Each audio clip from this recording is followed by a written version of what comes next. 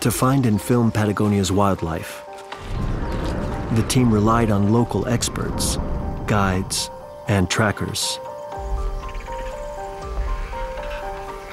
One scientist in particular took the crews to the most remote locations in search of creatures they'd never have found on their own.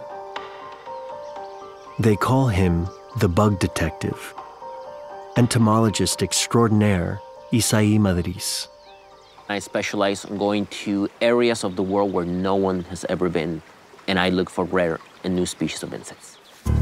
The challenge for director Kate Laurie is keeping up with him. Isai is not your average scientist. He's out in the field as much as he possibly can be. He'll climb to the top of tree canopies, pack raft down rivers, hike glaciers,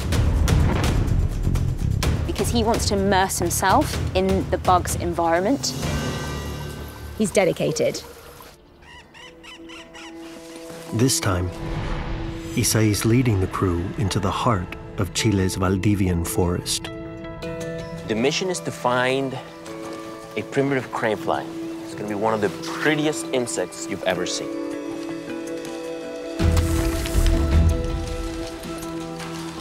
That means rigging a light trap high up in the canopy. And where Isai goes, Elijah must follow.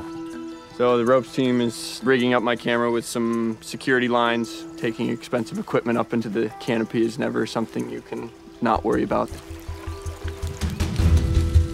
Operating from anything moving is obviously difficult. Um, there's a lot of variables.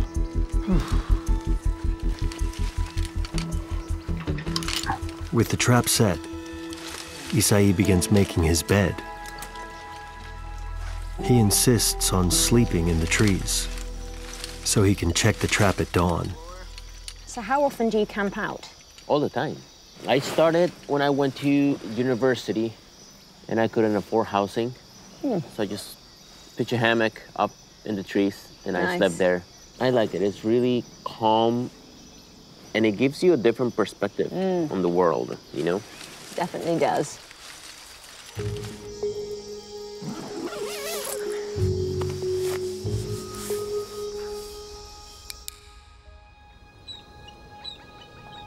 As the sun rises over the canopy, Isai is already at work in his improvised field lab.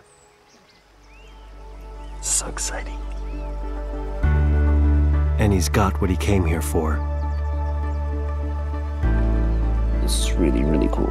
It's like a tiny dragon.